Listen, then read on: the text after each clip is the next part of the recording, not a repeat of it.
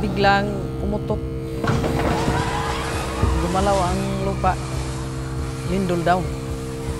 Wala na sila sa sarili nila. Nag-iyakan. Ano sabi nila wala.